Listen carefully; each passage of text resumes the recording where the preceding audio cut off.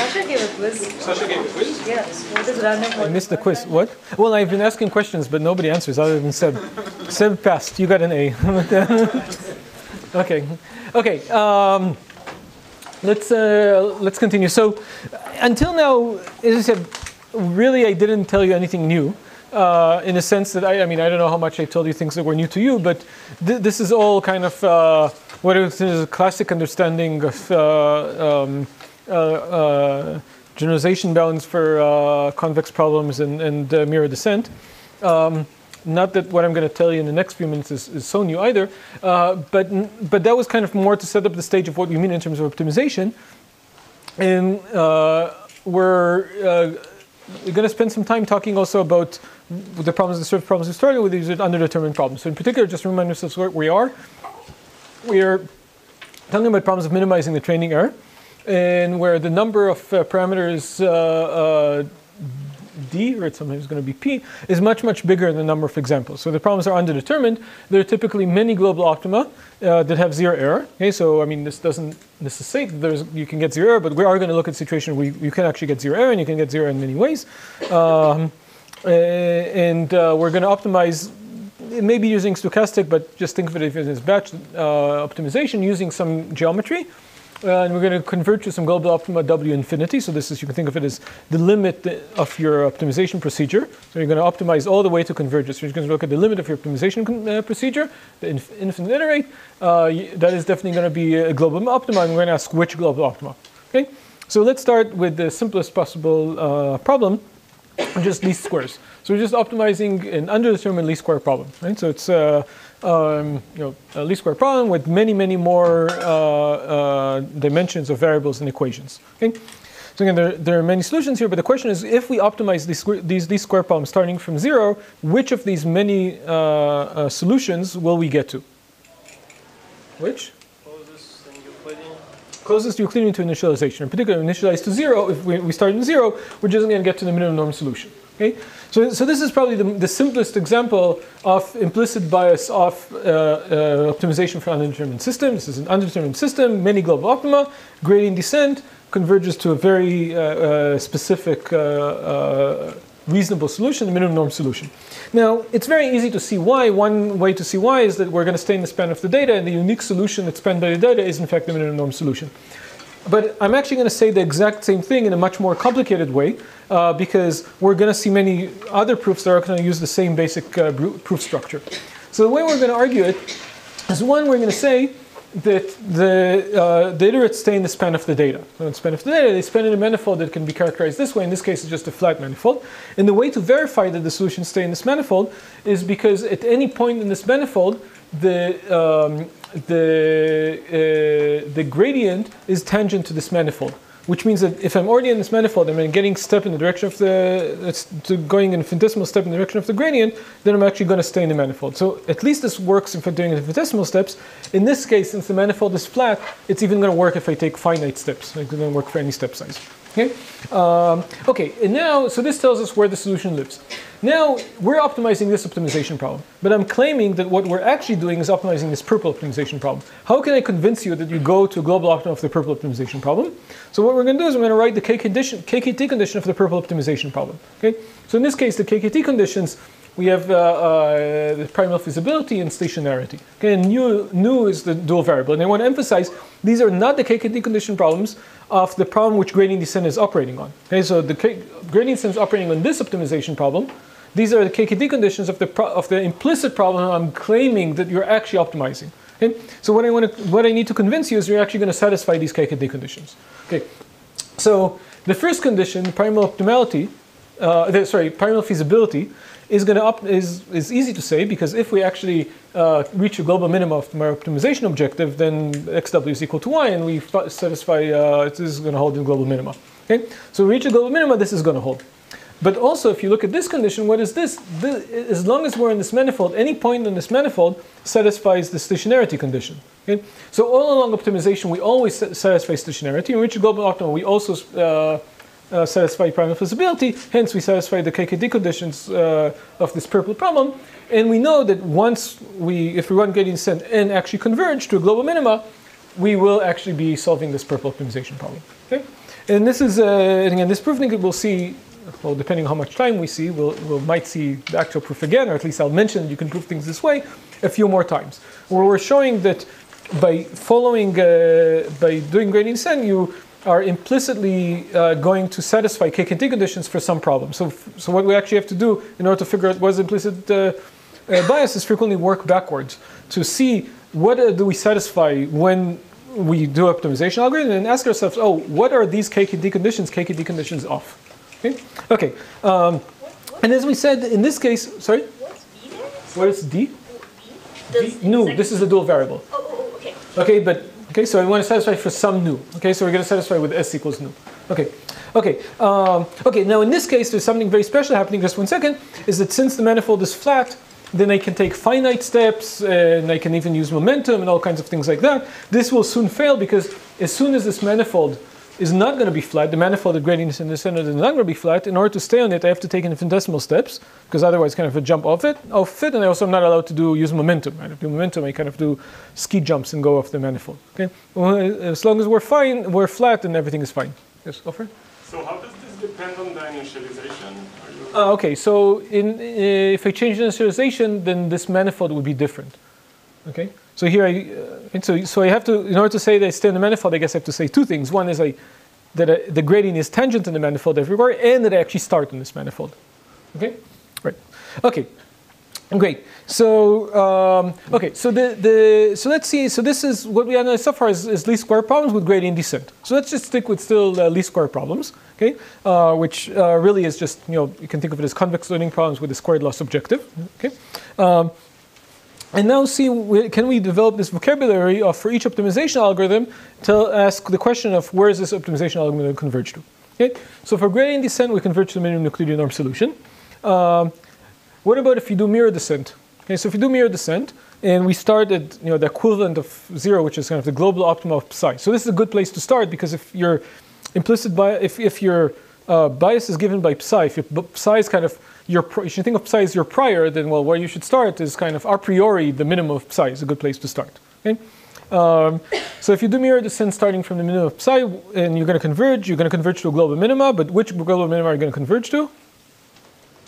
Any guesses? Sorry? Minimum psi. Minimum psi, right? So it's just minimum, okay, the minimum psi solution. If you start in a point which is not minimum psi, what you're going to convert to is the, mi- the minimum Bregman divergence to uh, your initial point, but I don't like Bregman divergence, so that's why I started it. it uh, I started here.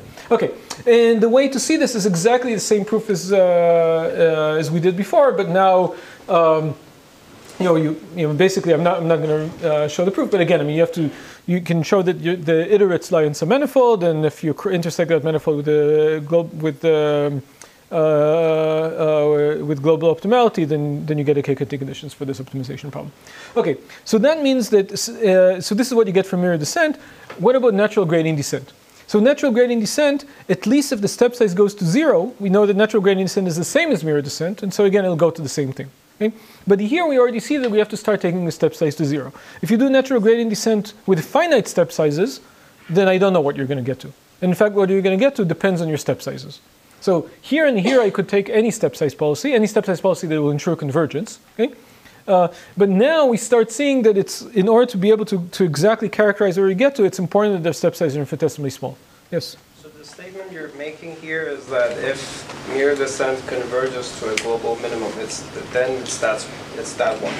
You're yeah, not giving but, us the, the, But mirror descent, as long as your step sizes are reasonable, mirror descent. So if you step, yeah, for example, if you take, um, it's easy to derive conditions on your step sizes. Here. So if your step sizes are such, then true convergence, or your step sizes are. Uh, um, not are uh, squ- uh, square summable but not summable or something like that. I mean, depending on now your exactly your conditions and oh, this is smooth. Sorry, if your step size you have a fixed step size that's uh, less than the uh, smoothness parameter of this, then you'll converge. That's that's not a problem here. Establishing convergence is easy.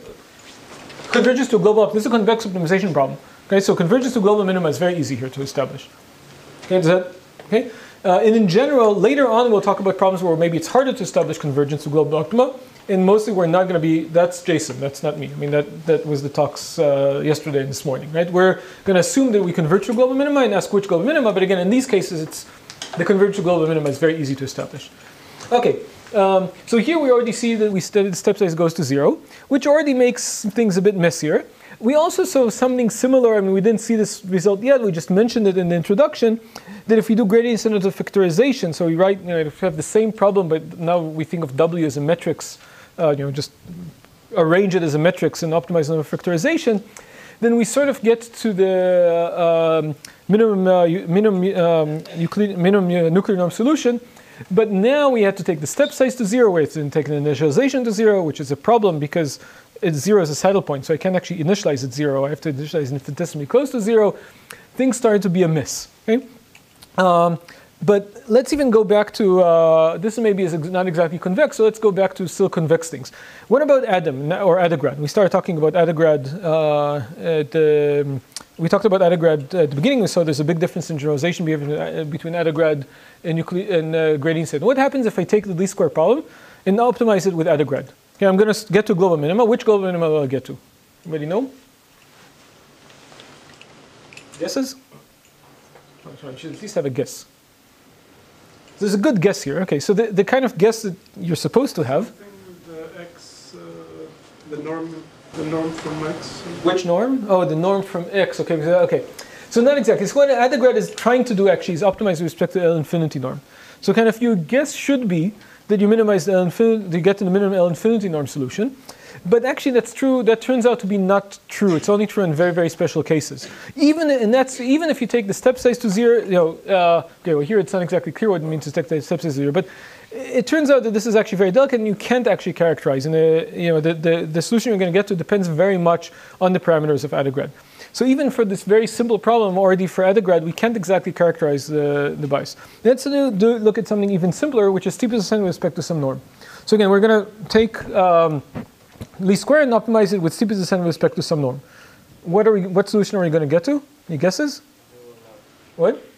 Well, it shouldn't be the dual norm, right? It'd be the norm is a norm on W. Right, so we're talking, we're talking about the solution we want to characterize in terms of the W we get to, so maybe a good guess is we get to the minimum, minimum norm solution. We expect the same norm, and we're taking steepest descent. So that would have been a good guess. That was also our guess, but the problem is that's wrong. Okay, so it's hard to characterize what you get to. In fact, in some sense, you cannot characterize what you get to, but it's definitely not the minimum norm solution with respect to that norm. Even if you take the step size to zero, so even if you do gradient flow, if you do, you know, do this in the, the, the um, continuous time uh, limit, you're not going to actually get to the minimum, minimum norm solution. So when we saw this first, we were a bit surprised but then we realized, wait, actually, we knew this before. Because um, if you look at, cor- at coordinate descent, is steepest descent with respect to L1 norm. And we know that for coordinate descent, it's kind of related to L1 minimization, but it's not exactly L1 minimization. So think of the lasso. So uh, looking at the uh, uh, least square problem with L1 regularizer is exactly the lasso. And we know that Lars, what's Lars? Lars is essentially coordinate descent, uh, uh, the coordinate descent of the least square problem, a specific coordinate descent. Again, coordinate descent is ill-defined. And we know that Lars is related to the lasso, but it's not equal to the lasso. It's not the same thing. I mean, it's only the same thing under you know some very special conditions that never hold. Okay, and so even for this problem, we already knew that we you know in retrospect that you're not going to get to the um, to the minimum solution. In fact, it's the case that for any norm you're not going to get any non-quadratic norm, you're not going to get to the minimum norm solution. Okay? And so what we see here is even for least square problems, which I thought was kind of the simplest to analyze, it's actually difficult to exactly characterize the implicit bias. what about LP norms? I mean, shouldn't it be follow from the mirror descent result? No, because mirror descent is not the same as steepest descent. So if you do, so if you do, if you do infinitesimal, okay. So for LP norm, uh, okay, for LP norm, if you do infinitesimal step size, okay. So if you do uh, LP norm infinitesimal step size, then that's natural. That's the same as. Uh, uh, uh, let me think about it. No, it's not the same. No, no, no, it's not the same. Because remember that the the the, the divergence of the LP norm is not the L, the LP norm. So if you look at the what? And so natural gradient descent with respect to the LP norm, uh, to the Hessian of the LP norm is different than steepest descent with respect to the LP norm. Okay? And nobody does natural gradient descent with respect, uh, nobody, the, nobody that I know except for Suriya when she did these experiments actually does uh, steepest descent with respect to the Hessian uh, of, you know, sorry, natural gradient descent with respect to the Hessian of the LP norm. Okay? Yes? Example, if you do an early stopping, you get a trade-off? Okay, so that's an excellent question. We'll talk about it a bit later, and the short answer is I don't know, and I'm very interested. So, in particular, I mean, this is a question to the audience. Maybe there's an answer here. I mean, I, I'm. Can you get generalization guarantees for early stopping of LARs in terms of the L1 norm? So we tried. We, we looked at that. Um, so you're saying yes. And then we looked at it, we're not. We're inconclusive. Okay. So so that's an excellent question. So if you do early, if you do uh, follow the regularization path of the, if you do Lasso, so follow the regularization path of the L1 norm, do explicit regularization, we know how to get good generalization guarantees. And what happens if you do LARS, which is your steepest descent with respect to the L1 norm, uh, with early stopping? Can you get generalization guarantees of that with respect to the L1 norm? Anybody know the answer? I don't, but I we looked and I thought that the answer was known. We couldn't find it. Yeah. And with database. You can with Adaboost. So we'll get to later at Adaboost and we'll understand why you can with Adaboost. Okay, uh, it's uh, it's it's different. Okay. Um, okay. Yes. When do you when do you say uh, step size goes to zero? It means like you know we have more iteration, but with like you know tiny changes. Yeah. So step size go to zero. What I really mean formally, what I mean by step size going to zero is this continuous time limit. So the, the solution of the OD that we had before, gradient flow, or the flow version of these things. Also, also like if we choose the steps um, based on, for example, some line search strategies like Wolfram. Ah, okay. Then then it's much more complicated. Uh, so yeah, line search is I don't know how to analyze. Uh, we'll talk about it. Actually, we'll we'll talk about it a bit later in about three slides. Okay. Okay. So this is for squared loss. Um, so we saw that squared loss is actually kind of annoying to characterize. Fortunately, the squared loss is not the loss we usually use for draining deep networks. The loss we usually use is again the cross entropy loss, uh, which really is just the logistic loss, okay, or the multi-class logistic loss. And so what happens for the logistic loss? So let's think of the same problem we had before. So now I can talk about a neural net, right? It's this very nice simple neural net with a single unit, also known as logistic regression. Okay, so we solve just linear logistic regression. Uh, and, and again, uh, what's going to happen here? So the, I'm interested in the overdetermined, uh, sorry, in the underdetermined case. So in undetermined case, um, there are many dimensions. In particular, there are many uh, ways of separating the data. So many ways uh, of uh, um, uh, there are many ways of separating the data. And what we ask is, what happens when you actually do gradient descent on the logistic loss? Okay. So what what happens when I do gradient descent on the logistic loss? Where where will I converge to? Where's where is is the question clear? So I'm I'm taking this objective. I'm going to start somewhere and I'm doing gradient descent with, on, uh, on this objective with respect to W. Where is W going to converge to? If the problem is linear separable. What? What? SVM solution. You want to go in, you want to say infinity. Yeah, okay, it's not going to converge, it's going to diverge, okay? Because um, the, the infimum of the loss here is zero, and this is an important point. The infimum of the loss is zero, but it's not attainable. Okay, I can drive the loss to zero by taking w to infinity, but I'm never actually going to reach zero. Okay, so I can do that in the direction of any, any linear separator. If I have a linear separator, and I'm taking w in that direction, or w that defines this linear separator, so orthogonal direction, it's going to have finite loss, and if I take w to infinity here, I'm going to drive the loss to zero. Okay, so w is actually going to diverge, and uh, this is a very important point because people talk about the norm that you get, the norm of the weights you get by training. Uh, uh, you take a neural net and train it and get zero error, and then you talk about the norm of the weights at convergence. What does that mean? That there's no norm of the weights in convergence, right? The, the, the weights are going to go to infinity. Okay? The norm you get, the only thing that determines which norm you get is how far, you know, how long you spend optimizing. Okay? So, so Cross entropy loss. what? How about cross entropy loss? Just- this is the cross entropy loss. I thought this the. This is the cross entropy loss. The cross entropy with respect to softmax model.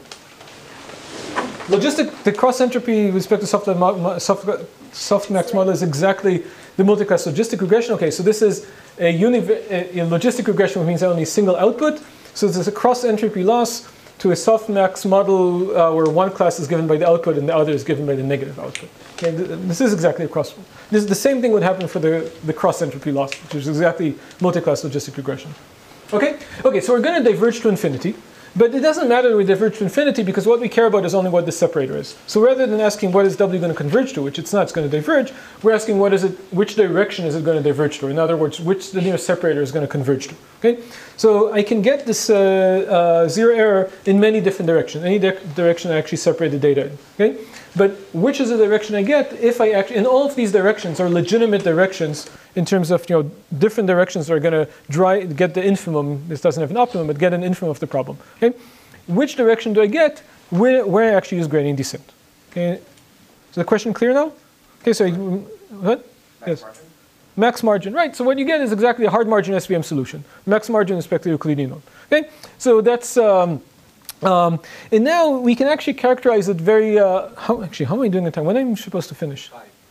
So I have another hour from now. Okay, so just trying to decide whether to do the proof or not. Okay, so what we can get here is we're going to get to the max margin, but we can even say what we get much more finely. What we get is uh, we converge to the max margin. More specifically, asymptotically, the solution is going to look like this. It's going to be look like the max margin solution times log t plus some error term which is going to stay bounded. So in particular, as t goes to infinity, this term is dominated, and we're going to converge to the max margin solution. Okay? And this is a much stronger uh, uh, result than the type of results we saw for the L2 case. In particular, this holds for any initialization, in, with even finite step size, any, any uh, finite step size. Okay? And it holds, and what's special here, it holds not only for the logistic loss, what's important here is the loss has a tight exponential tail, right? So, so logistic loss, when, when the predictions go to infinity, when z goes to infinity, this behaves essentially as e to the negative z. So any loss that behaves as a limit is e to the negative z. So in particular, many of the results I'm going to show you are, I'm going to prove them for the exp loss, e to the negative z, and I'm going to think about it in terms of logistic loss. Because for separable problems, the behavior of the limit is, is only determined by the tail of this loss, which looks like e to the negative z. So in terms of separable data, logistic loss and the exp loss are, are the same at the limit. Okay, so um, maybe I'll very quickly go uh, through this proof uh, just to get the, the flavor of things. So um, what we're going to do is we're going to um, assume we converge to some direction w infinity. I mean, you can show that you, you can prove that you converge to it, but we're going to uh, here assume that, that you converge to some limit. So that means that the solution is given some uh, then et asymptotically by some increasing function gt times w infinity plus some rho where rho is smaller than gt, right? Because w infinity is, is the limit. So now we just have to figure out what is this w infinity, okay? So since the problem is separable, then we're going to drive the loss. Uh, uh, uh, the, the, the, eventually, everything is going to be. We're going to separate all the data points, and so uh, far enough from uh, from zero, we definitely have the w infinity uh, times xi. Set all the labels here for one for convenience. Is definitely going to be positive. Okay, so let's look at how the the gradient of the loss looks like. So the gradient of the loss, we're thinking of the exp loss instead of the logistic loss. So the gradient of the exp loss is just the exp loss itself. So we have e to the negative prediction times the data points. Okay. So now the thing is that uh, since I have something that looks like this, that as uh, um, uh, as GT in, uh, that scales all things increases, like as I go further and further away, then only the, the, the only the points that are closest to the margin, that have the smallest values of uh, W infinity xi are going to dominate this, uh, uh, this exponent, uh, this sum, because their, their values are going to be infinitely larger than anything else. Okay? So that means that the gradient is spanned only by the points that have minimal value of uh, w times xi, and I'm going to keep adding them back to x, so that means that my iterates are also going to be dominated only by those points. So that means that the gradient, so that means that my iterator is spanned by, by what are these points? They're exactly the support vectors. They're spanned by the points that are kind of have are, are uh, uh, have the minimal uh, margin value that are on the margin. Okay, and now again, if I, I can use that, and I'm, going to be very quick here, but I can use that in order to construct the K and D conditions for the hard margin SVM solution, and so argue that I get to the max margin SVM solution.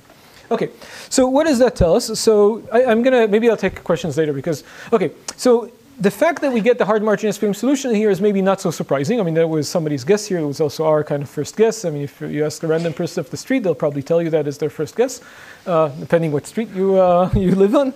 I'm sure that's true for some streets. Um, okay, but, but you can already see much more fine things in that. So one question we can ask is, well, it's going to the max margin, but how fast is the action, are we getting there? How fast are we? We're maximizing the margin by how fast? And the solution is, the, the answer is exceedingly slow. Okay? If the, the max, if we ask how quickly we get to the max margin, we're getting there as 1 over log t. Okay, so if you look at the, the, the sort of the margin of our, uh, uh, so both if you look at if, uh, how quickly we're getting close to the max margin solution, or if we're asking how is our, the margin behaving relative to the max margin, they're both going down as 1 over log t. Okay? Con- contrast that with the loss, the loss is going down much, much faster. The loss is going down as 1 over t. Okay?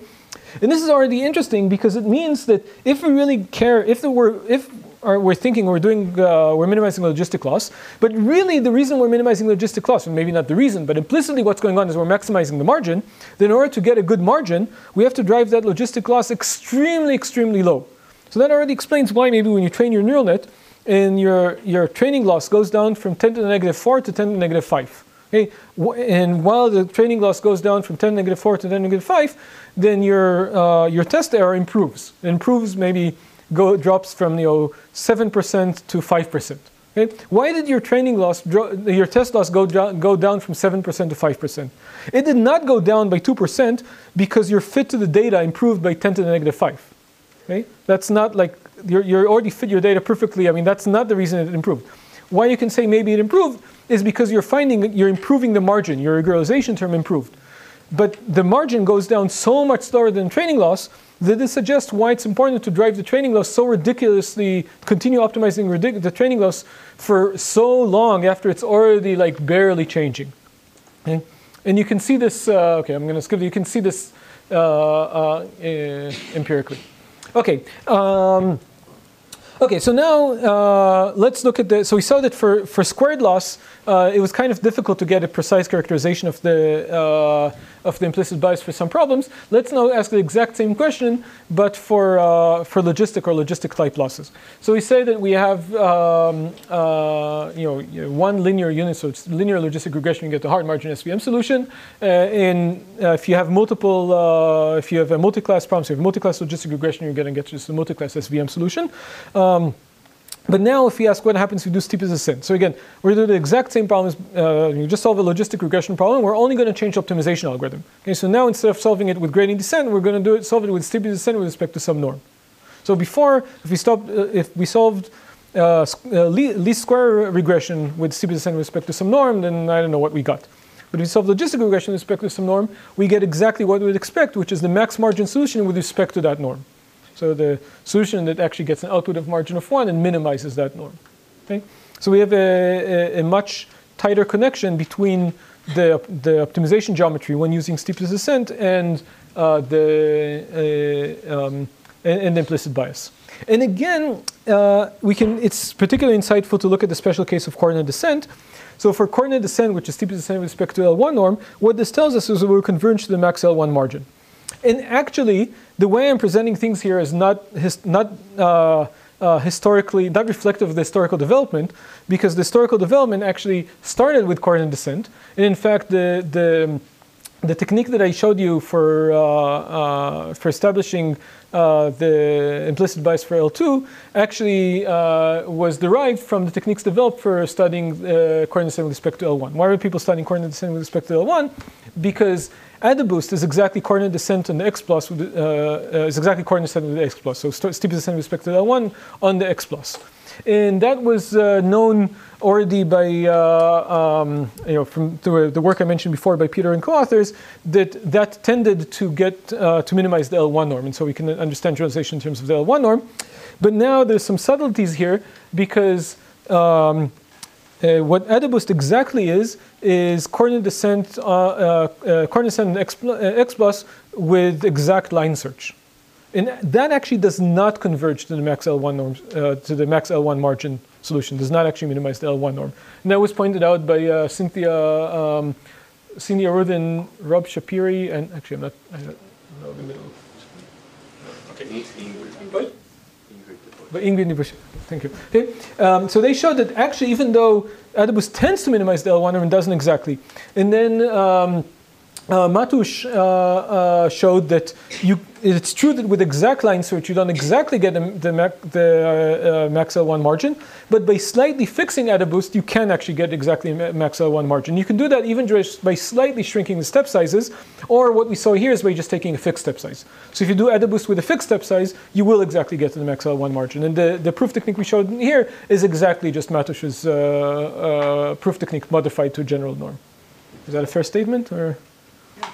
Okay. Um, okay. So um, and now uh, we can also see other problems that before we had a problem with, which is this matrix completion uh, uh, matrix factorization problem. I, am we're gonna, I'm actually not sure we're gonna see the proof for it. Um, so again, for the matrix factorization problem, where before we kind of got minimum nuclear norm, but only kind of because we couldn't prove it, only in special cases, and only if we had started infinitesimally close to zero and infinitesimal step size, and it was a miss. And with the exp loss, we can do the same thing. We can ask what is, you know, we have a, a problem with the metrics argument. We're writing this factorization. We're solving the logistic loss. So think of it as like one bit. Uh, um, uh, one bit matrix completion or, or, or, something like that, like matrix com completion for classification, where you just have up-down measurements for each entry. Uh, and now, in a much more robust way, you actually get to the max trace norm margin. So minimize the trace norm subject to an output margin of one. And in some sense, the reason it's much easier to analyze the, these, the logistic losses, or generally these exponentially decaying losses, as opposed to the squared losses, there's nothing special here about the squared loss logistic itself. The big difference here is whether the, the loss looks like this and has a unique finite minimum, or whether it's monotonically decaying to infinity.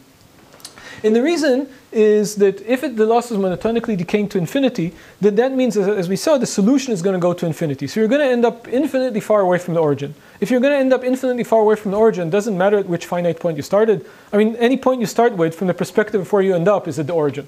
Okay? And so the asymptotics here are much easier and much cleaner. Also, the step size don't matter as long as you have a figure. So this is why exact line search is a problem because then the step sizes might be very like might actually increase as you go further away from the origin. But as long as you're taking a fixed step size, then eventually when you, you, know, when you finish your optimization, your step size is going to look minuscule compared to where you are. So the asymptotics are much more convenient in this case than in this case. And here, in this case, you're going to end up in a finite solution, and all these finite fluctuations at the beginning can affect what you're doing by a lot. Okay? Okay. Um, Okay, so so far what we uh, talked about is we didn't talk about learning in the last few slides. All we talked about is just a pure algorithmic question of I'm going to use some algorithm, namely, uh, you know, say uh, uh, steepest descent with respect to some norm or gradient descent or something like that. What is going to be the output of my algorithm? Okay, I, this is a deterministic uh, empirical algorithm. What is going to be the output? How can we relate that to learning? How can we get uh, learning guarantees from that? Well, I mean, once we understand what the algorithm is doing, so once we understand that our optimization algorithm, think of A as our optimization algorithm, actually returns the minimum psi solution with respect to some psi, like the L1, the L2, the L1, something like that. You can think of this maybe, as a margin loss. Then, at least in the realizable case, you can get generalization guarantees in terms of the complexity of the sublevel sets of psi. So in particular, you can say that uh, you can bound uh, the uh, uh, the, the population loss of uh, the output of the algorithm in terms of the Rademacher complexity of these sublevel sets. So it looks, you know, generally would look something like this with some complexity measure here that depends on your structure of psi. Okay, so that means at least in the realizable case, we get a, you know, we understand the generalization, uh, what's going on here. Now, the question is what's going on in the non-realizable case. Okay, so in the non, non-realizable case, and this is maybe goes back to what uh, Vitaly asked before, I mean, learning still makes sense, right? So maybe think of the realizable case, the non-realizable case. Instead of thinking of can you get zero error, I think the better question is do you want to get zero error? So in the realizable case, you want to compete with some hypothesis W star that has zero error and also small psi. In the non-realizable case, the hypothesis I want to compete with is a, a simple hypothesis that has small psi, but it doesn't necessarily have zero error. I just want to compete with some hypothesis that has small error. Okay? So I want to get, preferably I want to learn some W that has error that's less than uh, the loss of W star plus some complexity measure that depends on W star. Okay, how can I get that? So I can get that by explicit regularization. How can I get that, something like this, also with implicit regularization? So now there, there are kind of two basic options here.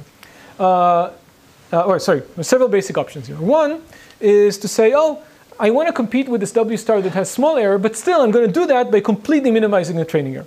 Okay, so that's interpolation learning, and Peter talked about it this yesterday, I think. Okay, and, and for that understanding, in terms of optimization, I supplied Peter everything he needs. I told him what my solution finds. I find a zero error solution that minimizes some psi. And now I can move, uh, pass this on to Peter, and now just Peter has to solve the interpolation learning problem. The problem is that we still don't understand the interpolation learning problem. I mean, we don't understand when we can exactly do interpolation learning. Um, we're working on that. Uh, but that's, you know, if, if what we're doing is interpolation learning, that would be satisfying. And actually, for deep learning, it seems that we are actually doing interpolation learning, and so maybe that is a satisfying answer here. So in terms of optimization, I just have to understand this zero error case. Okay? You seem concerned, or okay, okay. Uh, but let's still think of what can we do uh, if we do want to do, don't want to do interpolation learning. So if we don't want to do interpolation learning, what we probably want to do is early stopping. Okay? So what we probably want to do is not find a zero solution. So how can we do optimization without finding a zero solution? We're still going to optimize uh, uh, the empirical error with some optimization procedure, which is we're going to stop before we have zero error. Okay? How can we analyze that? So are two ways to analyze that. Either um, I can exactly tell, try to characterize what is the output you'd get. So the way I would say it is I can relate the optimization path, the solution you get if you do early stopping at different points, with the regularization path, the solutions you get if you do explicit regularization. And that would be in regularization interpretation or for early stopping. So I can tell you, oh, you're doing the early stopping, that exactly corresponds to this type of regularization. Okay? And we're going to see an example of that. I should say that another approach we can say is say, well, maybe what I'm doing with early stopping, it doesn't actually correspond exactly to regularizing, but it just generalizes the same. So this is kind of related to what we saw at the beginning. We saw that SGD doesn't actually solve the regularized DRM problem, it just generalizes the same. So maybe if I do early stopping, what I mean by early stopping, instead of doing stochastic gradient descent, I'm actually going to do batch gradient descent, but I'm going to stop the batch gradient descent before it actually gets zero error. So again, I'm gonna, I, maybe I'm going to get a solution that looks like this, but maybe I'm going to get a solution that's very different in it, but just generalizes as well. Okay, okay. So let's let's look at uh, some examples. So first, um, let's see how we can relate the optimization path and regularization path. And as far as I know, there's only one uh, example where we can really do that, uh, and that's for uh, least square problems with gradient descent. Okay, so we're going to again look at this uh, least square problem. Uh, so the optimization path is just defined by these batch gradient descent iterations, okay? And we're going to relate it to the regularization path, which is defined by, by the actual minimizer, not no, no algorithm going on here. I'm just looking at the minimizer of my empirical loss plus different values of uh, uh, regularization with different values of lambda. So for lambda equals zero, this is just the, the actual risk minimizer, and for lambda goes to when lambda goes to infinity, this goes to zero. When lambda, lambda is equal to infinity, this is just zero. Okay. Um, and the limit of these two things, so if I take, as we said, if I take lambda to zero, I don't have any regularization here, is the same as I'd get uh, uh, if t goes to uh, infinity here, then I'm going to get actually the minimum uh, norm, sorry, a, zero loss solution, but not just a zero loss solution. In both cases, we know that we're going to get actually to the minimum norm solution. Okay, here you're going to get the minimum norm solution because you're still going to, you know, as long as you have, you're still going to have some preference to minimize the norm. And we saw that for gradient descent, we're also going to get the minimum norm solution. So the end point of the regularization path and optimization path are the same point. Can we also say that they're the same all along the way? So ideally, what we want to show is something like this, that Wt is equal to W hat lambda with some relationship between T and lambda. Can we do that? Okay. So we sort of we can, or not we, but uh, actually uh, Neu and uh, Rosasco. But in order to do that, we cannot do that for a fixed t. Rather, what we're going to do is we're going to do early stopping, but we're going to sort of randomize early stopping. So we're going to choose our stopping time at random. Okay, we're going to choose a stopping time at random following some geometric distribution.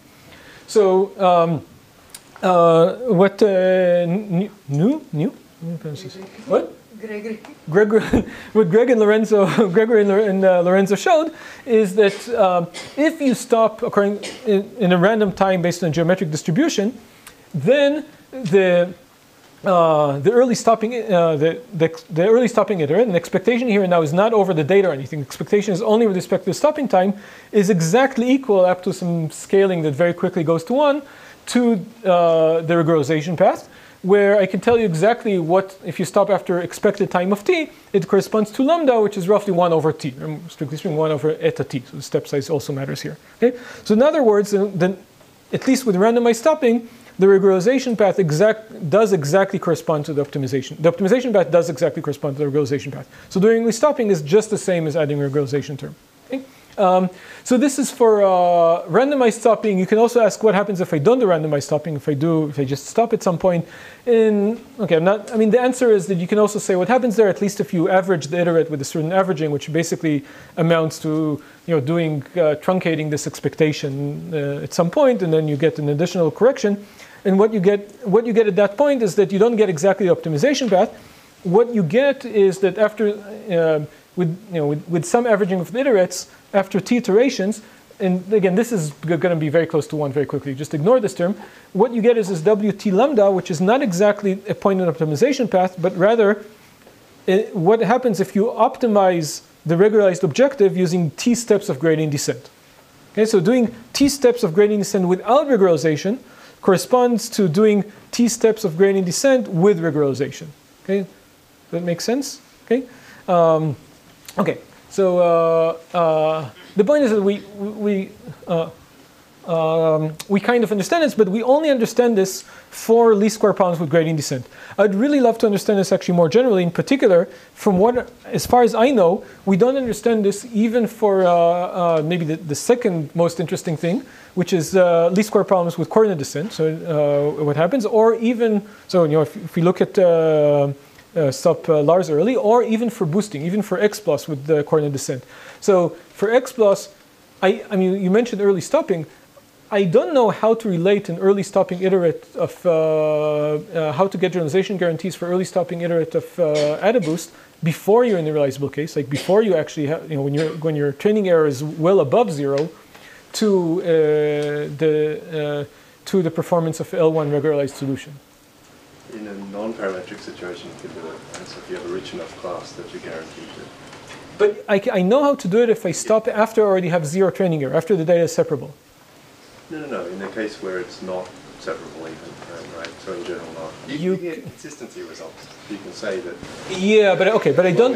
No, no, you can get right, but I don't know how to relate. No, I can get generalization guarantees, but I can. I don't know how to relate the iterate to is right, to right, right. to not, the the. It's not talking about regularization. It's just talking about. Exactly. Exactly. Right. Right. Quality exactly. Right. Actually, so, uh, Rob, yes. Rob has a guarantee of this type. For uh, he has a comparison between the um, the solution you get after some number of iterations and the optimal solution subject to a norm constraint of log t. Okay, so I'll be if you show me that later, I'd, I'd be happy to see that. Okay, so um, okay, so so as we said, we this is the, an approach that relates the uh, directly relates the, the regularization path, the optimization path. Another way to deal with early stopping is I mean um, is just get generalization guarantees after early stopping, and there has been. Um, uh, some work on that, uh, both for boosting and for uh, and for kernel ridge regression. In some sense, you can interpret some results on, on Uh, uh, forward greedy selection. Also, as, as results in that for uh, coordinate descent for least square problems. but I have to say that I, I mean, I all of these results interpret things a bit differently, and, and I don't think we have kind of a nice unified theory of, uh, of what's going on here. But anyway, maybe this is not so important because if we're doing interpolation learning anyway, then all this is sort of less relevant, and we should be thinking about what happens when you do drive the training error to zero anyway. Okay, so that's uh, we're gonna what we're gonna focus on. And so so far we only talked about shallow uh, convex problem, and the remaining like what five minutes or something. What do we have? Thirty-five minutes. Remaining 35 minutes, we're finally going to uh, draw to deep, uh, uh, deep problems and see what's going on. So the first deep problem we're going to look at is my favorite deep learning problem, Uh, which is of course matrix factorization. Uh, so matrix factorization is, is actually a deep learning problem uh, because it's a, it corresponds to a two-layer network with linear transfer. Okay, so don't laugh. Uh, this is already a deep non-convex problem that exhibits many of the situations that happens in deep learning and has the distinct advantage that we actually have an understanding of what's going on there. Okay, um, okay. so we already saw this before. We're going to look at these uh, this least square problem on uh, linear measurements over a matrix. We're going to parameterize the matrix as a, a, a factorization, a full dimensional factorization. Do gradient descent on u, and we're going to ask what happens. Uh, and actually, here I'm writing as u times v. What I'm going to analyze is actually the symmetric case of u times u. Um, but it's really just a, the, the non-symmetric case is actually a special case of the symmetric case because if a non-symmetric problem, I can always encode it on the um, uh, off-diagonal blocks of a symmetric matrix. Uh, so the symmetric problem actually already encompasses also the non-symmetric problem. So we're going to limit myself only to the symmetric problem. Uh, and as I already mentioned before, then roughly what's going on here is that the um, uh, that the uh, that at least if we start uh, close enough to, to zero and we take step in small enough step size, then the solution we get is going to converge to a minimum nuclear norm uh, solution. So to make this a bit more formal, then uh, again, we're going to look move to the continuous limit here. So the continuous time limit, and now gradient descent, of gradient descent, we're going to talk about gradient flow. So gradient flow on u, which is given in this form, and I can expand this out. I'm going to go through this a bit uh, quick because actually I'm curious. How many, um, just so to decide which of the three topics I have, I'm going to skip. How many people have already uh, seen this? Or maybe, maybe I should differently. How many people have not uh, seen this and would like to see it? Okay. Okay, so they compromise and kind of do it with double speed and half detail, because I want to get to the tangent kernel stuff as well. Um, okay, so uh, uh, so the thing is that these are the gradient dynamics in U, and we can also talk about the induced dynamics in W. So again, this is something we'll see later on. Remember that, I mean, U is the factorization, W is the resulting matrix. Okay, so the dynamics, I can ask what are the gradient dynamics in U imply on W. These are not the gradient dynamics in W, nevertheless, they're still well-defined dynamics in W. Okay? In particular, here I'm writing in, just plugging in uh, U, but since U transpose uh, U is just U, I can just substitute W here, and I can write the dynamics in W purely in terms of W. So I can forget about U, and just say that doing gradient, so the gradient descent on U corresponds, you know, the gradient flow in U corresponds to some other dynamics in W. So again, you can see this just as, instead of th thinking about it as, oh, I'm doing gradient descent on a different parameterization, I'm just optimizing W with respect to a different geometry. Okay, I'm doing, uh, uh, um, I'm, I'm following a different dynamics in W, a different notion of local geometry in W. Okay? And I can then ask, I mean, this is going to find, if this finds the global optimum, I get it down, it's non-convex, and somebody asked me before, how do I know I find the global optimum? I don't know. But if it finds the global optimum, and actually I do know, because you can prove here that under some conditions it's going to find the global optimum, but that is not for today. If you find the global optimum, which global optimum are you going to go to? Okay? And now it depends on the initialization. So we're going to, uh, for any initial W naught, we can talk about what is the limit of this, uh, uh, of these dynamics.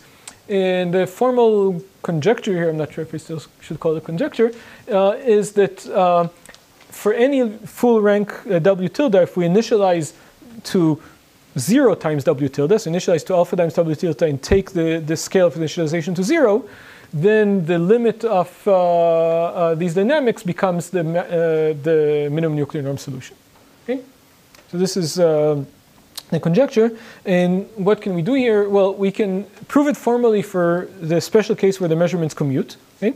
And uh, so that's not very, I mean, it doesn't give you matrix completion. For matrix completion, the measurements definitely do not commute. It does give you uh, uh, maybe uh, um, reconstructing a matrix from, um, uh, from certain linear observations that might commute. Maybe the most interesting case here, which is still already non-trivial, is if you take the measurements only on the diagonal. So then they definitely commute. And then what this problem boils down to is an even a simpler problem that we'll return to again later, which is just a linear prediction problem. So now everything is a diagonal, so this is just a vector problem. Okay?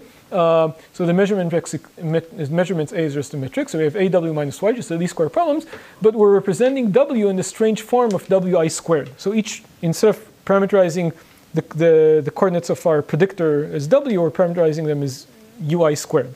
And what and so we know that if you do current uh, gradient descent on w, we're going to get to the minimum Euclidean norm solution. If you do current, what this tells us, if you do gradient descent on u, we're going to get to the minimum L1 norm solution. And that's already kind of interesting. We see that we get a different uh, different bias for the same optimization problem just by optimizing the different parameters. Okay.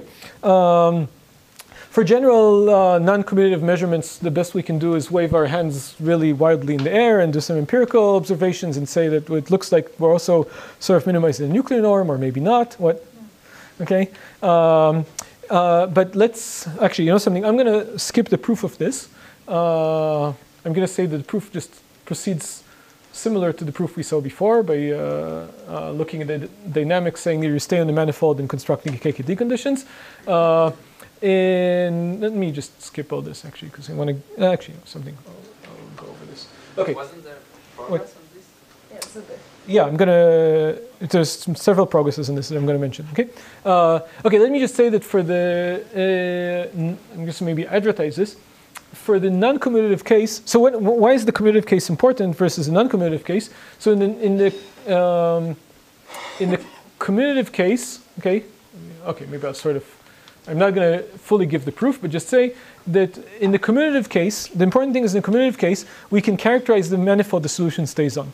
So the solution stays on a manifold that looks like this. That looks like Wt times some exponential of uh, you know a star st for some st uh, times this, or st is actually the integral of the of the residuals. So you can think of the residuals as steer, steering us on this manifold. But even if I forget what the residuals are, I'm still going to stay on this manifold. So this is a non-flat manifold, but it's still some manifold. And now I can say that if I stay on this manifold uh, and satisfy global optimality and initialization goes to zero, which another way to think about it is they go infinitely far away to the origin of this manifold, then I'm actually going to satisfy the K condition for the minimum norm solution. So I'm not going to go through the details.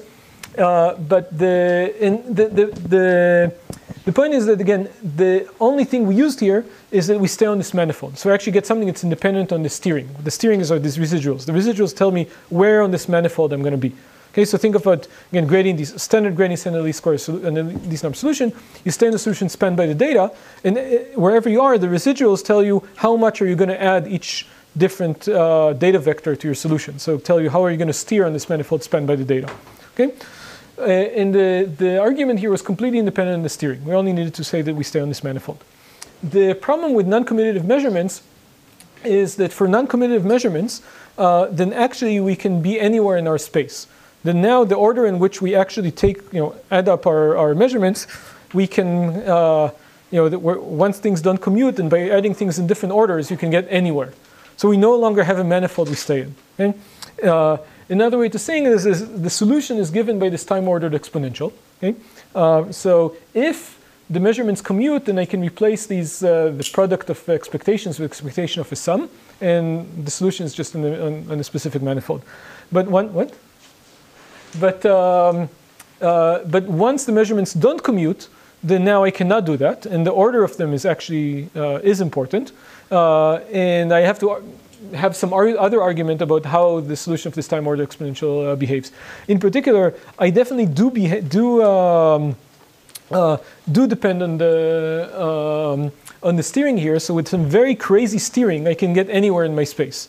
The thing is, if I actually solve this problem, if I actually you know do the what I get for matrix completion problem or matrix factorization problem, I don't actually have crazy steering. I have some sensible steering, and at least to the limit, I don't get something completely crazy. I still get on something that behaves roughly as if these measurements commuted. And I don't know how to make this formal, nor whether it's true or not. Okay, but let's. Uh, um, so I'm, i went through this in a bit maybe less detail than I would have uh, hoped, but you can uh, find this. You know something you can online. You can find talks of this online if you want. So uh, you can uh, get the in a version you can actually understand. I just summarize. So this is the conjecture we raised in 2017. Uh, we still don't have a resolution of it. Uh, as I said, we have a rigorous proof when the matrices commute. Um, uh, Tengyu, who is who was here before, Tengyu here? No, Tengyu? Okay, so uh, Tengyu and the student have uh, proof in another special case, which is when uh, the measurements are RIP and the matrix is approximate is uh, low rank or maybe approximately low rank. No, I think just exactly low rank. Um, but again, then it's a bit difficult to say whether you're going through a minimum nuclear norm solution or just the minimum rank solution or just solving the problem, you know, reconstructing, because these are conditions under which you can actually exactly recon- the, the, the, the, minimum nuclear norm solution is exactly the planted solution. Our claim is even if you're in a, in a situation where you statistically cannot fit the data, you're still going to the minimum nuclear solution. And again, that's backed by experiments. We can run experiments where the minimum nuclear solution is not the planted solution or even there's no planted solution, we still go to the mini nuclear solution. Uh, but again, we, we don't know if this is true, and then there's some. Uh, there have been at least two proof attempts that I'm aware of uh, that uh, did not work out, not by us, uh, and several attempts at finding counterexamples. It seems kind of difficult to also find counterexamples here. I, I don't actually know. at this point, I'm not sure. I don't have a good sense of whether this is true or not. What? Empirical counterexample So the problem yeah. is that it's very difficult to have an empirical counterexample because um, the claim is what happen is this happens only when the step size goes to zero. That's not so bad, but also when initialization goes to zero. And the problem is when initialization goes to zero, it becomes extremely difficult to actually optimize. And we have some evidence I'll suggest soon that suggests that the initialization should go to zero exponentially exponential in the error you, you're willing to tolerate. And so if you get a numerical counterexample that only has small deviation from the nuclear norm, which is what the numerical counterexample has been, so far it's not very, con- not very convincing. Okay, but let, us uh, continue. So what we saw so far is one deep model, but let's look to models which maybe would start looking maybe more familiar, like actual uh, deep networks. And you won't laugh at me that I'm doing uh, neural nets. So we said if I train a single uh, uh, a neural net with a single unit, so linear regression, sorry, logistic regression, that what I converge to is the hard margin SVM solution. And now we can ask, well, what happens if I actually train, still talk about li- linear neural networks, so linear activations, but have multiple layers and you know a bunch of units. And the answer is actually that's very boring because what you get is again you just converge no matter how many layers you have, how, how deep you are and how wide you are. If you if all the activations are linear and you have a single output and you train with the gradient descent, you'll still get to the hard margin SVM solution. Now we have to just stop a second to understand what I mean by that. So what is a linear neural network? A linear neural network is just an overparameterization of a linear predictor. Okay? So what I'm telling you now is not what the weights in the network would converge to, but those weights in the network actually represent some linear predictor. And I'm telling you what is the linear predictor that, that they actually represent, that they actually parameterize, what is it going to, uh, to go to, which is really what you, behave, what you care about. How is the function computed by the network going to behave? Okay? So the function computed by the network is going to converge exactly to the hard margin SVM solution. So that's pretty boring. Okay, but what happens if instead of talking about a fully connected network, we uh, look at a still linear uh, network, but a linear convolutional network? So what's a linear convolutional network? A bunch of layer. Each layer is a full width convolution. So each unit here has as many units in each layer as, as, inputs with the same weights but shifted by one. Okay, so we have all the different shifts, uh, ro rotations actually uh, of the previous layer. And all the activations here are still linear. So this still computes a linear uh, predictor, and it's pretty easy to see that you can get any implement any linear predictor this way. So the model class here is still the model class of all linear predictors, but uh, and now we can ask also the same question of what happens if I train this network with gradient descent. which linear predictor am I going to go to? Okay, so I'm definitely going to go to a linear predictor that separates the data, but but in the underdetermined case, there are many linear predictors that separate the data. Which of them am I going to converge to? Any guesses? Maybe somebody who's not heard this talk before? Guesses? Guesses? Okay. So what you're going to converge to, at least if you have one convolutional layer, is the max L1 margin in the frequency domain. So in other words, you're going to be implicitly minimizing the L1 norm of the Fourier transform of your linear transformation. Okay, so you're going to get sparsity in the frequency domain. Now this is with one layer. If you have multiple layers, again, so for fully connected layers, it didn't matter how many layers we have. But we have convolutional layers, if we have multiple layers, and what we converge to is we're implicitly minimizing the bridge penalty, the LP bridge penalty in the frequency domain for p equal to depth over to 2 over depth. Okay? So if you have you know, 10 layers, we're getting the L0.2 regularization in the frequency domain. So again, just to appreciate what's going on here, we're getting very rich inductive bias, very rich bias. We're biasing ourselves to solutions that are sparse in the frequency domain. So right, so this is what you'd get if you'd use a fully connected network. This is what you'd get with the depth two convolutional network. This is with the depth five convolutional network. Okay, so you're getting to, and what I'm plotting here is the linear predictor. So you get, get sparse in frequency domain, and we did not do that by by changing the model class nor by imposing this explicitly. This is a byproduct of the fact that we're doing gradient descent on, on a specific parameterization, which imposes some specific geometry on our search. Okay? okay, so this is exactly the type of phenomenon we want to understand. Um, now, you might ask, well, why am I getting, why here does the depth not matter, and suddenly when I'm talking about convolutions, the depth does matter, or how do I get this? So really the secret here, I feel like when I, when I show this, I feel like, oh, this looks like, when I show this looks like magic, and I'm now going to reveal my magic trick to you, or it's actually Suriya's magic trick to you.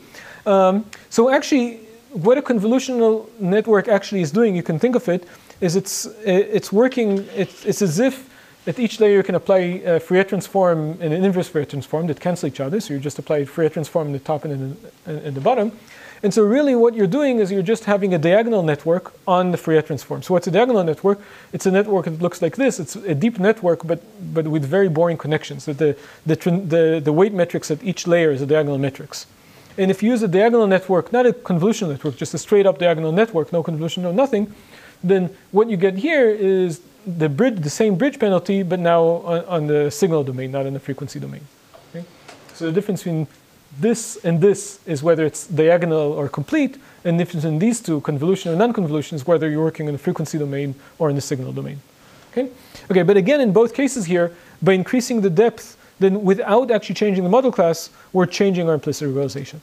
Okay, so what we saw here is actually, we talked in the beginning about, when we talked about convex models, we talked about the, uh, Uh, the geometry of the optimization itself. So we talk about gradient descent works with one geometry, and steepest descent works with a different geometry, and mirror descent works with a different geometry.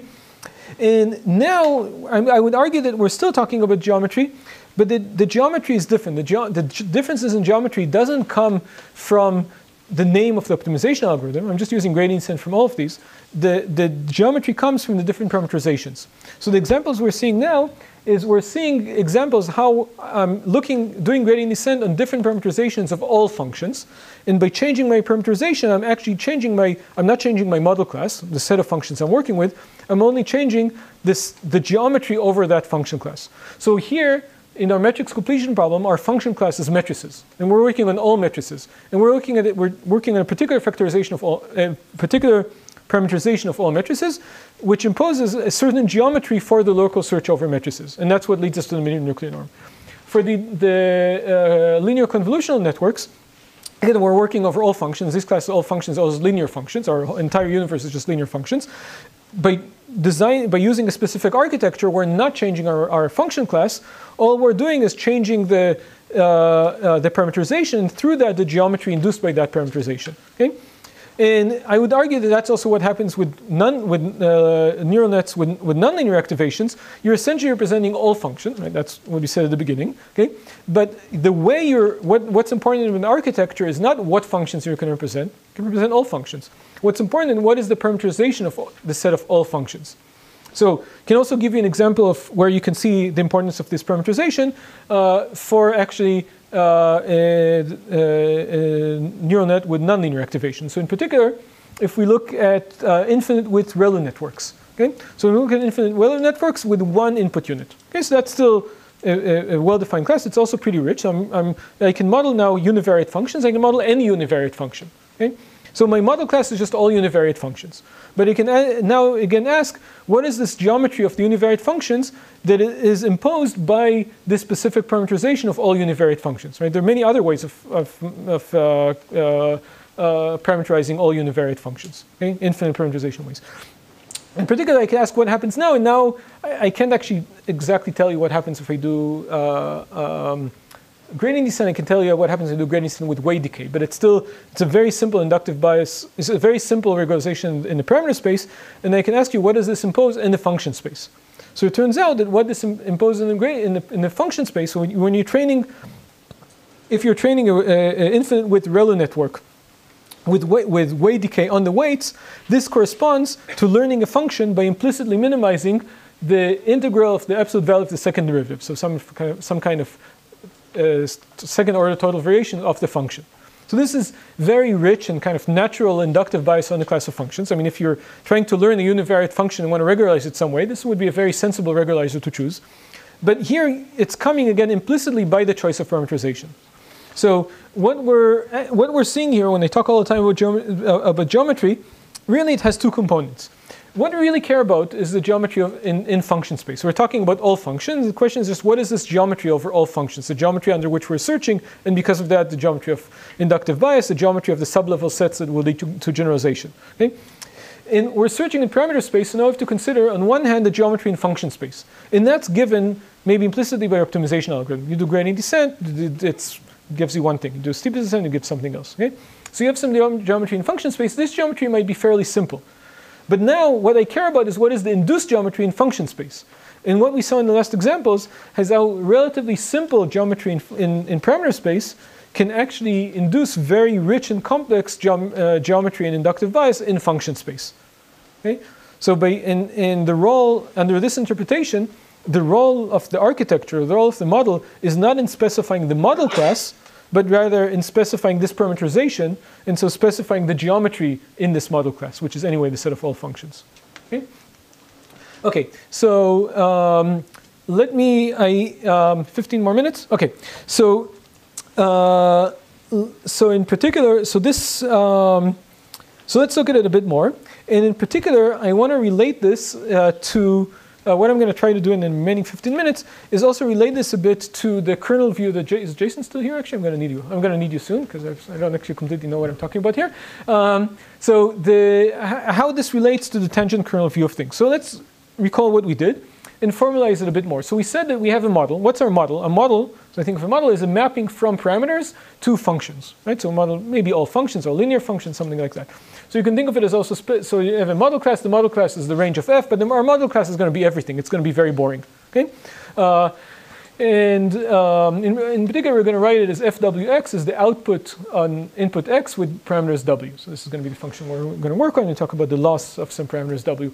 And, uh, and right, so the model maps from here to here, and we're and um, and for linear models in particular, our functions are going to be linear functions, and so we're going to use, uh, we can really talk about the model is mapping some w to b of beta w, the linear predictor parameterized by, by the weights w. Okay? And that's if we're going to talk about uh, um, linear models. And now the question is, can we, um, can we give a, a, a, a, general theory that relates uh, the, um, that, that um, uh, that relates, uh, okay, sorry, it's, it's, okay. So, so in particular, the type of models we're going to talk about are uh, d-homogeneous models. And you should think of the, so what's a d-homogeneous model? So a d-homogeneous model is a model where if you multiply the parameters by some c, the model gets multiplied by c to the power of d. And you should roughly think of d as your depth, okay? So one homogeneous models are just models, linear models, not linear in x. I don't care about linear in x. All, my, all my examples are going to be linear in x, or almost all of them. Uh, but they're models that are linear in w. So these are very boring models. These are, these are the shallow models. We know we understand them pretty well. Okay? Um, examples of two homogeneous models are, for example, matrix factorization and two-layer neural networks. So both of these are two, uh, two homogeneous. In general, if I have a d-layer uh, linear network or a d-layer ReLU network, I have a d-homogeneous uh, model. So you can roughly think of the d as, as the depth of your model. Okay? And we can ask the question, can we analyze, have a general theory for d-homogeneous models? And the answer is uh, sort of. So if we at least consider uh, gradient descent, um, oh, sorry, maybe I, let me just go back and tell you what the question I'm, I'm going to uh, answer is. So what we're trying to understand is in all, uh, sorry, I think I missed an important sentence before. Uh, in all the example, uh, in all these examples that we saw here, in all the examples that we saw here, then what's really going on here is that the geometry in parameter space is very simple, just Euclidean geometry. And the geometry that we're getting, yeah, quite a slide on that. Okay, sorry, I think I lost the slide. And the geometry we're getting here is very complex. So now you can ask whether all this implicit, uh, implicit bias business really just boils down to having you, gradient descent imposing Euclidean geometry here. And really, I, I, shouldn't have given the entire first half of the talk because I just have implicit geom uh, Euclidean geometry in the L2 space. And it's all just about the mapping to function space. Okay? And so we actually have a result that kind of suggests that in some sense it's kind of the case, uh, but we'll critique it. So what we can say is if we consider a d-homogeneous model, and uh, so we have a, a d-homogeneous model with the exp loss, and we're doing we're doing gradient descent on the exp loss for a d-homogeneous model, then in fact under some conditions what we are going to converge to is exactly the max L2 margin solution on over those parameters. So we're going to be implicitly minimizing convergent direction to a solution that implicitly minimizes the L2 norm in, uh, in parameter space. Okay? Uh, subject to an output margin of one. Okay? So in a sense that says that yes, that um, the implicit bias is given by just Euclidean geometry in the, in the parameter space, and the rich inductive bias we see in function space is just maybe a mapping of that. So that suggests that um, what we get in, now what we care about really is function space, is the implicit bias in function space is given by minimizing this uh, uh, implicit regularizer. And what is this implicit regularizer? It's just the minimum uh, Euclidean norm cost of representing H using our model right? So just the cost, you know, if, if, I'm having this parameterization, every function would have a different cost of representing it, where the cost of the function is just the Euclidean norm in, in parameter space. So this is just the, the moving from this parameter space to function space. The problem is this is not so clear. So first of all, this, this uh, theorem has uh, a bunch of conditions that I'm not sure if they're satisfied actually. So we assume that the predictor converges in direction. We have to have some other things convergence direction, some constraint qualification. I mean, it's probably you can waive many of these, but maybe that's one concern. A bigger issue here is that note that all these problems are non-convex optimization problems. And what I'm telling you is that you're going to converge not to a global minimum here, because I can tell you that's a non-convex optimization problem, no, this is generally non-convex because f is non-convex, but rather to a first-order stationary point in parameter space. The problem is that being in a first-order stationary point in parameter space does not mean that you're in a first order. You're also in, in, a, in the, the induced function is uh, also a first-order stationary point with respect to the problem of minimizing the induced regularizer. Okay? And so that, for, because of that, for all the examples we showed, in particular like the convnets and, and all of that, morally this is what's going on, but actually you have to prove specifically that you actually get to a first order stationary point of this in this regularizer. Okay? And it's not, I actually, yes? Does D play any role? So D doesn't play, for this statement, D doesn't play a role. Well, D equals 1 is trivial. Okay? So only, we do need to have to, to be homogeneous, but it doesn't matter for what depth. What D determines is the, the, the it, of course, has a role in determining R. Okay? Okay. What? I was going to say. Yeah. So R, R here is a function of the, of the model. And roughly speaking, if you're in depth D, you'd get something that corresponds to a 2 over D, over D norm. Very roughly. Okay? Uh, just a second. I want to. I see that I'm already. Not, okay, let me just finish this. So, um, so, uh, so we, we see in fact that in many of the examples, the rich inductive bias we, we saw, we, we could completely explain just by this view of having Euclidean norm in the function space and just in terms of uh, what it induces in, in uh, sorry, Euclidean norm in parameter space and what it induces in function space. And we have this generic result that, it, that suggests it's true also more generally. But actually, I think that there's much more going on here. First of all, this generic result uh, has all these conditions that it's, I, it's, it, they might not really always hold, and in transitioning from this from uh, first order stationary points into problems is, is, problematic. But more than that, this is only for d-homogeneous problems, and it's you know when you move to non-homogeneity, you definitely we know that you get things that are much much richer. And even for homogeneous problems, for squared loss, it seems that this, for example, doesn't work. So there's a very recent uh, work that's going to be on arXiv, uh, I was told in a few days, uh, by Sanjeev Arora and students, um, that showed that for the same kind of um, deep, and particularly implies for these deep diagonal networks that we had, that we saw that we are, we'll be getting the L, uh, with exp loss, we're getting this bridge penalty. Then with the squared loss, you still get uh, L1, uh, implicit L1 regularization regardless of the depth, which means that you're starting, you get very different things. What you're getting is not given by Euclidean norm regularization here. And actually, this is not going to be coming soon because I think I'm not going to have uh, time. So right now, this is to me one of the questions now I'm interested in, really understanding what's going on here. Is all this story about implicit bias just about Euclidean geometry here and this inductive bias, which is still very interesting and rich? Or are there things that are much more, much more interesting going on where the inductive bias really is very different? Like if you do uh, uh, very different in here. And again, we have lots of examples in which uh, the examples I showed you, it is the same, but we have lots of examples which we don't fully understand, which we see things are different. Maybe I will actually have time to show you one of these. Okay, maybe I'll, I will try 10 minutes for now. Five. Six. Wait, my watch this is. Okay. So okay. So one thing that's been bothering us lately is all this tangent kernel stuff. So what I mean by all this tangent kernel stuff? So as Jason said, then in a certain regime, then uh, gradient descent on our model behaves just as if uh, uh, we're working on the linear model. And this suggests that gradient descent just converges. So we're just it's a it's a linear problem. A linear problem, we know exactly what gradient descent converges to. It converges to the minimum Euclidean norm solution, or in particular. But remember, this is not Euclidean norm in parameter space. This is now just Euclidean norm for a linear problem. And this suggests that all the inductive bias uh, boils down to is just minimum norm solution or max margin solution with respect to some uh, uh, norm in some uh, uh in some linear space. So some kernel norm with respect to some kernel, namely the tangent kernel initialization.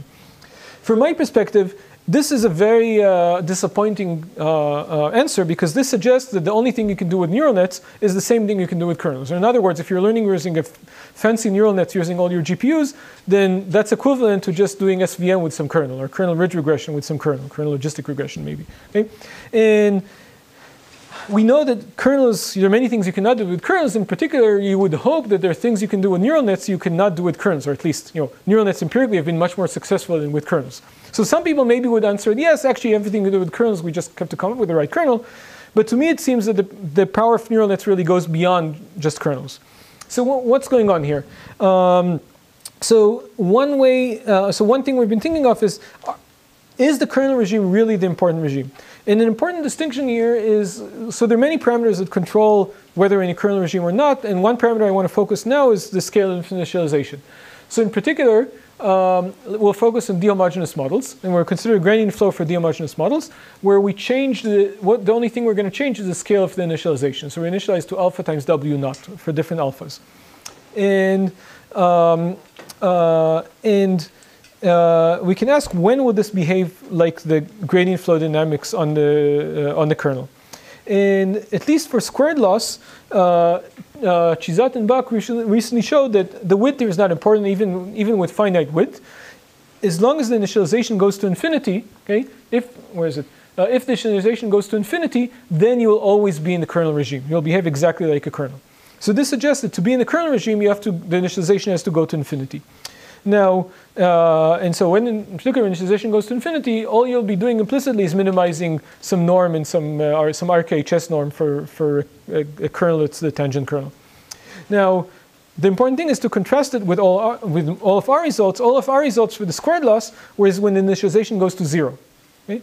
So this suggests that there's an interesting transition here between the kernel regime, which happens when uh, alpha goes to infinity, in the truly deep or rich regime, which goes when alpha goes to zero. Because we saw that when alpha goes to zero, we get inductive biases, we get, sorry, we get implicit biases of the optimization that look nothing like a kernel regularization. So we, go, we, look, we get things like nuclear norm or, or bridge penalty or sparsity, which are things that cannot be represented using a kernel. No kernel can represent them. So they're definitely not the tangent kernel. Okay? So can we understand this uh, more specifically? And okay, maybe you consider this as an advertisement because I'm not going to be able to go over the details. But um, to, to answer that question, we considered a very, very simple two homogeneous models. You can think of it as a depth two model or a you know, diagonal network uh, of depth two. So this is in particular just a reparameterization of a, a, linear regression model with squared loss, where we, we parameterize the coefficients as w plus squared minus w minus squared. Okay? So this is kind of similar to the squared parameterization before, the reason I have here w plus and w minus is I can get both positive and negative uh, parameters. So I really I can say I can get any linear predictor here. And also maybe more importantly, so I can initialize at zero. What does it mean initialize at zero? I can't initialize w at zero because that's a saddle point. So I initialize w as a scaling of the all ones vector. So you can initialize all the parameters to alpha. But that means that the prediction at initialization is zero. Okay? And now, um, uh, what's going on here? So we know that as alpha goes to infinity, I'm going to be at the kernel regime. And the tangent kernel here is easy to calculate. The tangent kernel is just given by it's four times the standard inner, the standard inner product kernel, which means that is, if I ask what is the limit of gradient flow as alpha goes to infinity, the answer is it's just the minimum L2 norm solution. Okay? But we also know what happens when alpha goes to zero. When alpha goes to zero, I said before that what we converge to is the minimum L1 norm solution. Okay? So we see that just by changing the initialization, we're in two very different places. Minimum L2 norm solution and minimum L1 norm solution. Now, the interesting thing here is we can actually characterize exactly what happens for any alpha. So for any scalar initialization alpha, we exactly go to the minimum Q alpha solution. So we have an explicit uh, uh, regularizer here. In this Q alpha, I wrote here exactly what it is. It's the uh, hyper entropy, it's called sometimes, regularizer. I mean, the minus A, we can write it explicitly, and I can show you what it is. It's just, this is the, the it's uh, minimizing the sum uh, over all the coordinates of the coordinate divided by alpha squared uh, of a function q that looks like this. So what's important about this function is around zero, this is quadratic. So when alpha goes to infinity, I'm only interested in the behavior around zero, and I'm essentially going, doing L2 regularization. When alpha goes to zero, I'm only interested in the behavior away from zero, where I'm essentially linear and I get L1 regularization. Okay? But I can actually characterize exactly what happens everywhere in between. In particular, I can look at the induced dynamics here and actually what, you know, what, is the, what are the dynamics I get. I can write, it turns out I can write the dynamics on beta in this form. So let's see what's going on here. If alpha is, is uh, zero, then this is just uh, beta times the gradient. These are just uh, multiplicative weight updates. So I get exactly, I mean, I know that's going to be BL1. When alpha goes to infinity, then this term is constant, and I just get gradient descent dynamics, gradient flow dynamics. But I can see exactly how I transition between those two regimes. And um, in particular, if I think of how this relates to learning, so imagine you're solving a sparse regression problem. So if you're solving a sparse regression problem, so we're solving a problem in like very high dimensions, a thousand dimensions, with a sparsity of five and about 100 observations. So I can solve this problem, okay? I, It's two minutes. Okay, I can solve this problem, but so to solve this problem, I have to do L1 regularization. Okay, and now I can ask, what happens if I solve this problem by by training my, my neural net with different initializations? So if my initialization is close to zero, I will actually be able to solve this problem. I get small generalization error because what I'm doing is essentially minimizing the L1 norm. Okay? Once I increase my, my alpha, I'm going to be essentially doing L2, uh, uh, be minimizing the L2 norm, and I'm not going to be able to solve my problem. So in particular, where do I want to optimize here? So I want my alpha, I want to be over here because I want to solve my problem. But the problem is over here, I'm starting in, in a saddle point. This is very difficult to optimize. So in terms of statistically, I want to be with alpha as small as possible. The smaller the alpha, I get better generalization. But optimization-wise, I don't actually want to have alpha that's super small, okay? Because then I'm, it's going to take me forever to escape the initial saddle point. So I actually want to use an alpha which is as large as I can, but still allows good generalization. Okay? And the thing is that that alpha will depend. So I always want to be kind of not in this deep regime, but just the, on the edge of it. I just want to be, you know, exactly in this phase transition. So for this reason, I'd argue it's very interesting to understand exactly this transition between the kernel regime and the deep regime. Okay? In particular, I can ask the, the following question: How, what happens when I have more and more data? The thing is that if I have more and more data, eventually I'll be able to learn even with L2 regularization. Right? Once I have more than a, a thousand data points, I can learn, you know, without any regularization at all. Okay? If I increase, so if my, my if I'm really data starved, I really have to have alpha to be minuscule. Okay? But as I increase my number of data points, I can afford being uh, learning with a larger alpha. So what we're showing here, as I said, as since we said that we always want to be on the edge of this regime, we can ask the question of how, how small we have to initialize in order to get recovery as a function of the number of sample points. And this is the graph we get. This is the informational limit, and to, to recover an information limit, alpha has to be minuscule, has to be exponentially small. Uh, but once we even have a bit more points than that, we still cannot recover with the L2 norm, but we can actually use a very moderate value of alpha. Okay? Um, okay, I'm not going to have time to show this because uh, Seb is going to kill me, but let me just say that I can, uh, I can, we can also ask questions, what's going on here, just, um, just can we uh, describe in terms of explicit regularization? So is all this just a thing equivalent to minimizing the Euclidean norm to initialization? And the answer is I can also tell you exactly what happens if you just minimize the Euclidean norm of initialization. And what happens is completely different because you again get an explicit regularizer, but this explicit regularizer just is the, the solution of some quartic. It's a much nicer explicit regularizer. Uh, it's uh, in particular it's algebraic as opposed to transcendental, and so the behavior here is very is, is qualitatively different between doing the implicit regularization and just doing minimum Euclidean norm parameter space. If anybody understood that, you should get a prize. Uh, okay, let me, uh, yeah, what? Can I get a prize? that's, that's, cheating. Okay, okay. So um, uh, I can say that you can see there all those phenomena also on metric uh, on matrix factorization problems. You can also see this transition, which I think Jason also alluded to in particular. Okay, I'm not. I, am not going to go to Jason. Okay, this is uh, later. I already lost all of you anyway. Okay, thank you.